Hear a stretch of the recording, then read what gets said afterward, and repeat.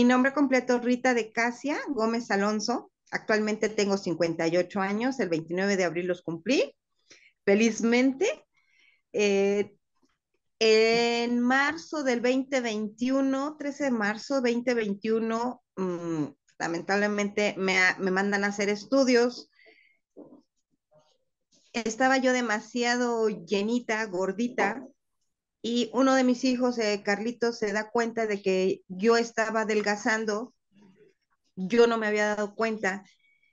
Eh, la estilista se da cuenta, me dice que mi cara estaba más delgada, yo honestamente no lo notaba.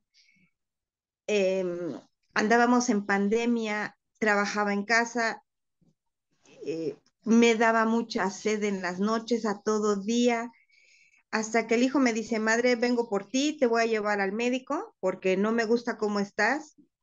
Nunca pensamos que tuviera diabetes, sino alguna otra cosa, nunca asociamos nada. Sí, vengo de familia diabética, mi abuelo paterno eh, falleció de diabetes,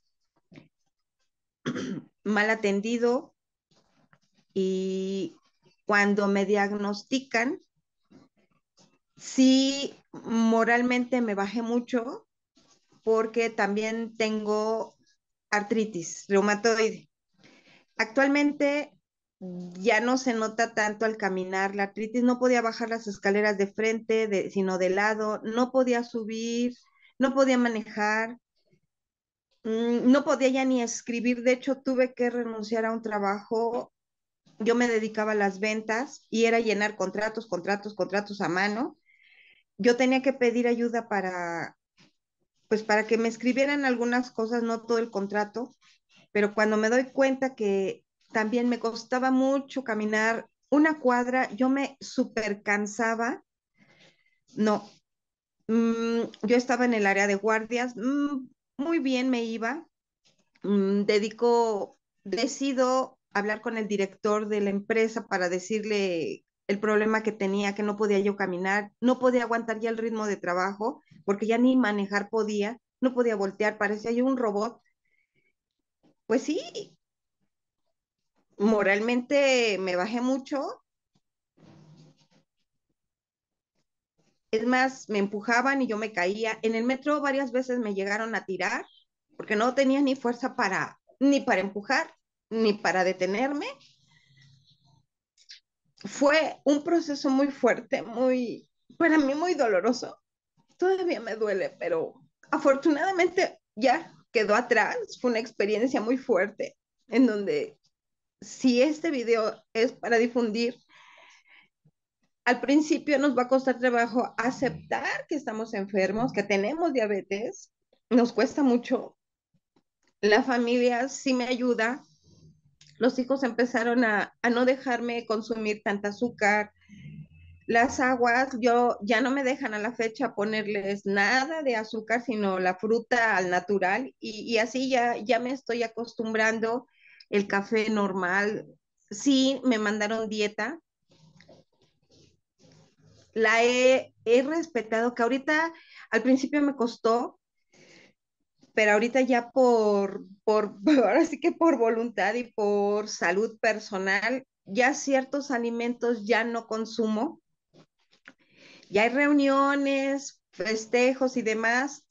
Eh, por ejemplo, los pasteles demasiado dulces ya no los soporto. Cuando yo, neta, era muy dulceras, sigo siendo, pero ya no tanto, ya no tanto. Eh, es tener mucha fuerza de voluntad para aceptarlo, la verdad, no hay otra en la oficina actualmente no saben que tengo diabetes porque perdí yo dos trabajos. En una me dijeron que no, me mandaron a hacer estudios, los vieron y dijeron que no, que yo era un alto riesgo para ellos y pues, pues me frustró más porque yo no encontraba trabajo. Hasta ahora en esta empresa que se llama Atento, estoy en un call center. Bendito Dios, estoy contentísima. No saben que tengo diabetes y artritis. Ah, me contrataron originalmente para atención telefónica, pero hay la necesidad de que yo atenda también chat y hay que escribir todo, escribir, escribir medio escrito.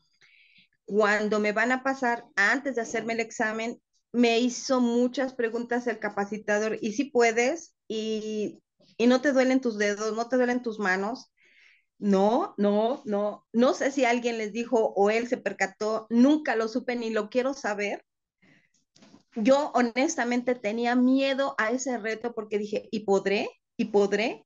Hoy me doy cuenta que claro que puedo y claro que se puede y ahorita sí me siento contentísima porque es algo personal que nadie me ayuda y, y eso a mí sola me motiva hoy, hoy este reto lo tengo que ganar y, hoy, y así llego a la oficina y le pido a la divinidad que me ilumine y yo la destreza para poder sacar mi trabajo a tiempo sí procuro no malpasarme. Me cambiaron mi horario de comida porque sí, yo era de comer a las 12, y, a las dos y media, una, pero como entro a, a, las 12, me dice mi supervisor, no, tú eres mi apoyo, te necesito a las 4 que vayas a comer, ¿puedes? Sí, jefe, cuente con ello.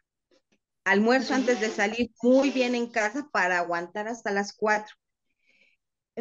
Algo también bueno, bueno y malo, no nos permiten ingresar nada de alimento Okay. A escondidas, pues a veces metí almendras o nueces, pero no, ahorita de plano la interacción ya me impide andar comiendo algo o distraerme más que tomar agua, tomar agua y eso me llevo fruta, agua de frutas, té, básicamente es lo que, pero pues sí, es mi motorcito mi trabajo ahorita, es mi motorcito.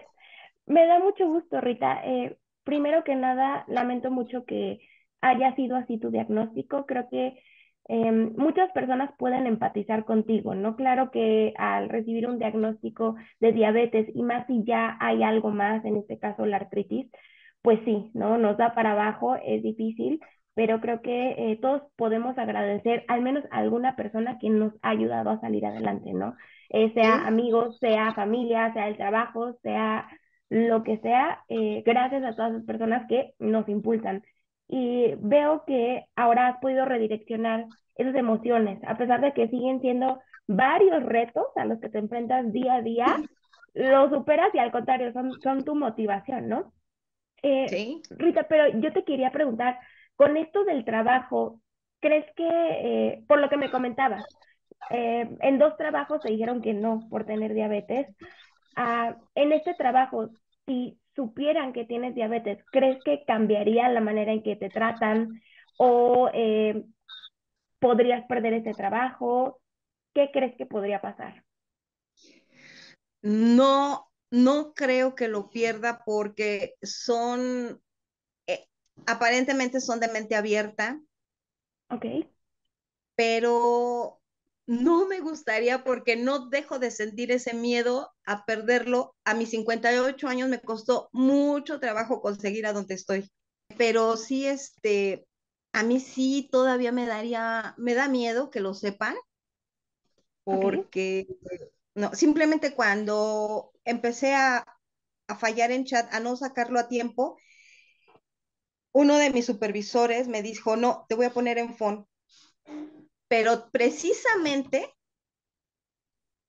yo pienso, si yo que tengo 58 años me ven que no puedo, a la gente de atrás que viene buscando trabajo con más edad, le van a decir, no, si Rita no puede, menos el que venga atrás de ella. Entonces le digo, no, jefe, yo puedo. Y sí podemos, sí podemos. Lo que estoy demostrando. A mí, primero que a nadie, para que vean los demás atrás de mí que sí se puede. Claro, claro que se puede y esto creo que es algo que en el mundo de la diabetes constantemente estamos demostrando, ya sea en lo laboral, ya sea en actividad física, en X razón, ¿no? Al final, claro que se puede, a pesar de lo que muchos piensen. Y Rita, ¿a qué se debe que mm, no le cuentes a todos tus amigos que vives con diabetes? Eh, por el miedo a, que se enteren de que, no sé, en el trabajo, la verdad, más que nada todo deriva a que quiero perder el trabajo. Y la verdad, aquí donde estoy son súper comunicativos y no, no, sí me da miedo porque me costó mucho trabajo conseguirlo. Mucho trabajo, entonces estoy bien, no tengo un buen horario, estoy aprendiendo mucho porque diario se aprende algo nuevo, diario, diario. Y lo más bonito es de que tengo compañeros que me ayudan, pero así de manera incondicional. Definitivamente te veo muy, muy contenta con tu trabajo. Sí. me da mucho gusto. Y uh, Rita, ahorita tú cómo te sientes fuera de lo que los demás eh, piensen o opinen, ¿tú cómo te sientes con tu diabetes?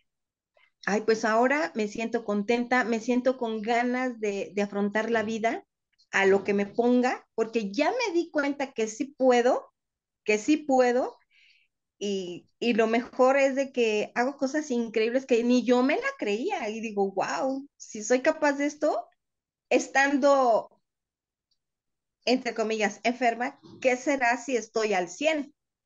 Me considero ya ahorita una persona al 100. Con limitantes sí, pero no sé si a veces sea el cansancio de mi edad, pero pues un sueñito, cuando estoy muy cansada, me duermo temprano y sí, me repongo y otra vez cargo pila y llega más que al 100. Sí. Muchas sí, me gracias, dan cosas. Eh, y ya por último, mm, ¿qué, ¿qué le dirías a más personas que viven con diabetes y se están enfrentando a rechazos en los trabajos porque viven con diabetes? ¿Qué les puedes recomendar? Que no se den por vencidas, que lamentablemente nos encontramos con gente ignorante, porque esa es la verdad. Ignoran que también tenemos la, la capacidad de desarrollar un muy buen trabajo,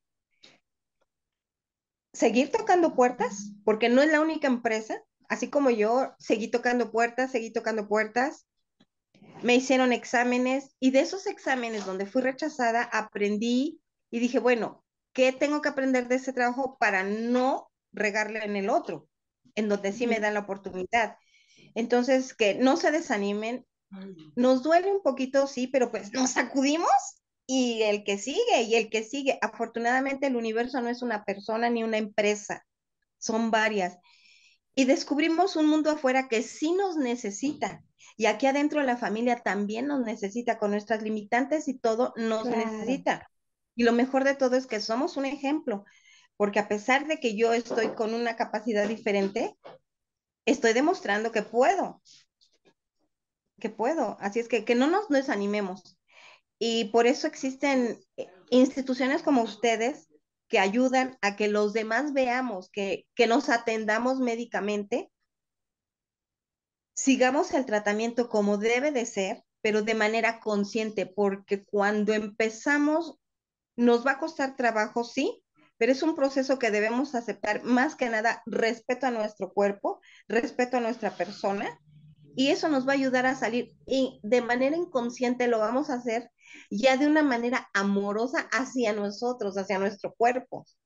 Y eso sí se nota alrededor, a donde vayamos, se va a notar ese amor, esas ganas de vivir que yo en un momento ya no las tenía. Ah, no, pues ahora sí las tengo y doy gracias a la divinidad porque me sacó de ese hoyo.